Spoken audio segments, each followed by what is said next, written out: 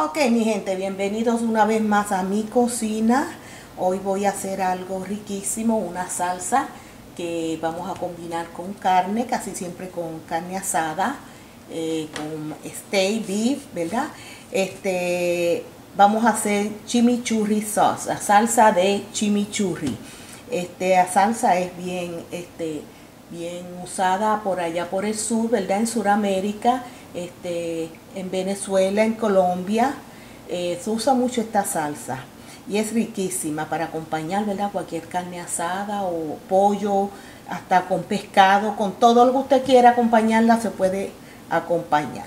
Estos son los ingredientes, aquí tengo cebolla, puede usar la cebolla blanca si desea o la amarilla, yo tengo aquí la morada, es el que voy a usar hoy.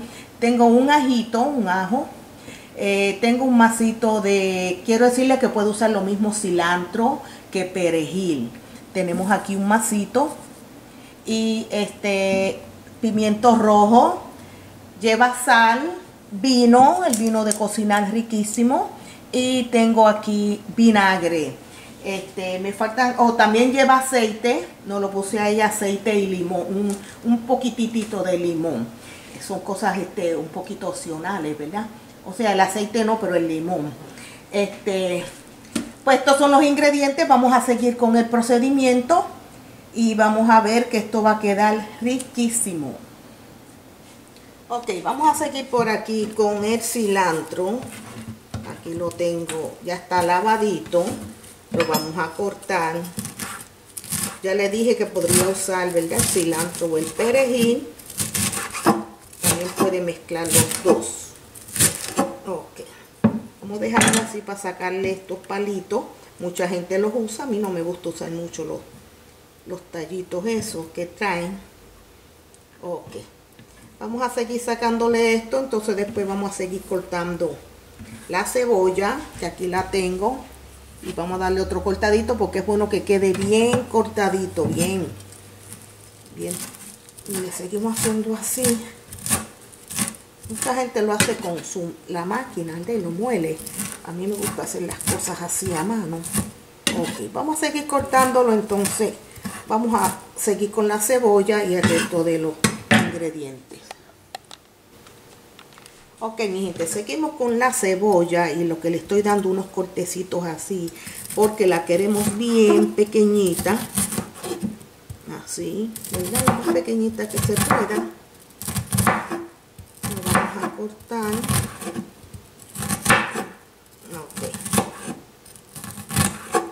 Y según lo vaya haciendo, le voy dando las medidas, que todavía no le he dicho. Ahí tenemos la cebolla chiquitita. Y vamos a medirla. Aquí tengo un cuarto de taza, creo que va a ser un poquito más.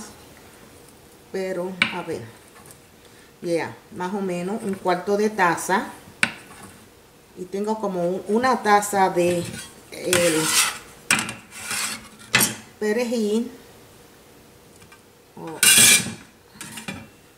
Aquí lo tenemos y le vamos a añadir eso. También tenemos aquí un ajo y el pimiento entonces, déjenme limpiar un poquito aquí y seguimos con nuestro video.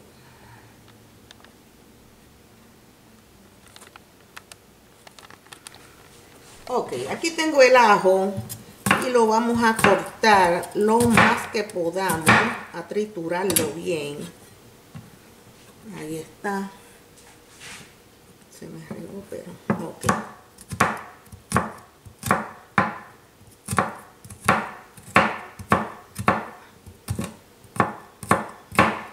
Ajo es uno de los ingredientes esenciales porque le da un sabor riquísimo.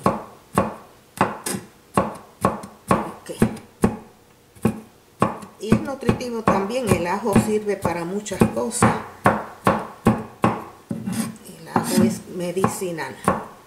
Ok, vamos así a triturar lo más que podamos. Y este era un ajito mediano con uno basta. Y depende la cantidad de salsa que usted vaya a hacer. Porque si va a ser mucha, pues usted, ¿verdad? Yo le doy la idea, como siempre digo. Yo le doy la idea y usted, ok. Y usted sigue inventando. Aquí tengo un pedazo del, del pimiento y lo vamos a cortar hasta conseguir, así se corta,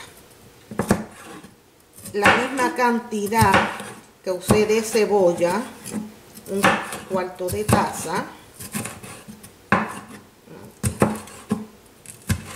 más o menos, no tiene que ser exacto la misma cantidad. Y de igual manera lo cortamos bien pequeñito.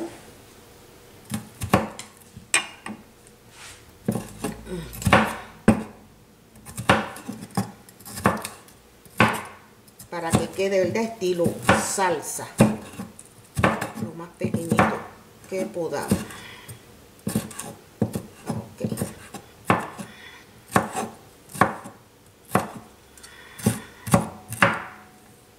que todo este va a equivaler a la cuarto de taza.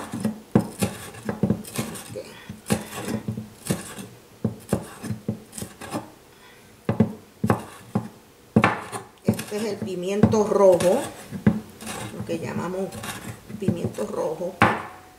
Usa mucho en las comidas. También lo trituro así un poco. Lo voy a medir para tener más o menos, ¿verdad? dejarles saber a ustedes más o menos, ya, exactamente un cuarto de taza. La misma cantidad de cebolla es la misma cantidad que le echamos del, del ají.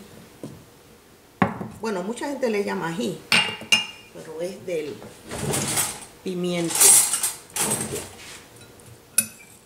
Estos son los vegetales. Ahora vamos con el líquido.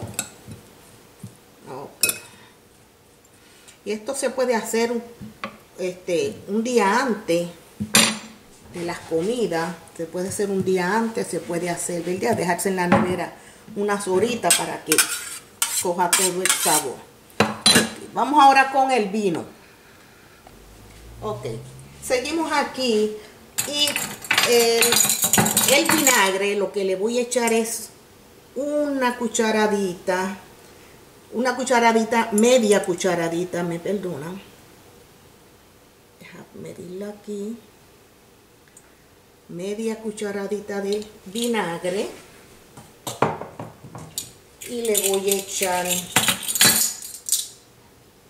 tres cucharadas de vino.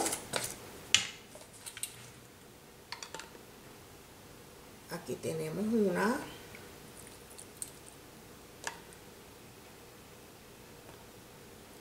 dos y tres de vino. Ok. Y la misma cantidad de aceite. El aceite no debe ser aceite de oliva. Puede usar cualquier aceite que usted use en su casa, pero no el de oliva porque ustedes saben que el aceite de oliva tiene mucho sabor, entonces ya le quitaría el sabor a, a nuestra salsa. Ok, tres cucharadas de aceite de oliva, tres de vino y yo le voy a echar una cucharadita de agua. Agua, ¿verdad? Temperatura ambiental. Una de agua.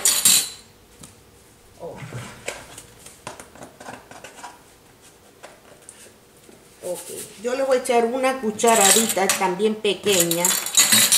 Voy a empezar con media de sal. Usted lo puede ir probando. Media de sal. Ok. Y le voy a echar eh, la pimienta. Lo que voy a hacer, le voy a agregar así un poquito. Más o menos lo mismo que va media cucharadita. Ok. Vamos a moverlo ya está, ya huele riquísima. Y el limón, que lo tengo por aquí.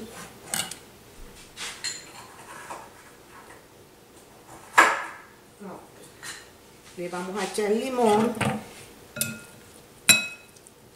Y esto lo vamos a dejar en la nevera Le podemos sacar algunos tallitos que se nos fueron. Mucha gente usa los tallos, yo no los uso mucho. Este, no me gusta. Y vamos a seguir moviéndola. Ok, mi gente, no les enseñé, pero el, este, me olvidó el limón. Le eché también media cucharadita. Ok, para que haga verde su líquido y usted la puede probar y si quiere echarle, añadirle algún ingrediente de, lo que ya le echamos, ¿verdad? Pues este, todo a gusto. Esto lo vamos a poner en la nevera y lo vamos a dejar por un rato en lo que la, la vayamos a consumir con lo que, con, ¿verdad? La carne que usted prefiera. Puede ser eh, asada, casi siempre es para carne asada, este, ¿verdad? Steak con pollo también sabe rico, con costilla y hasta con pescado. Pues esta es la salsa, yo espero que les haya gustado. Sigan mi receta y gracias por venir a mi canal. Eh, denme un like, un comentario, es bienvenido. Este, suscríbanse a mi canal y recuerden que el amor empieza por la cocina.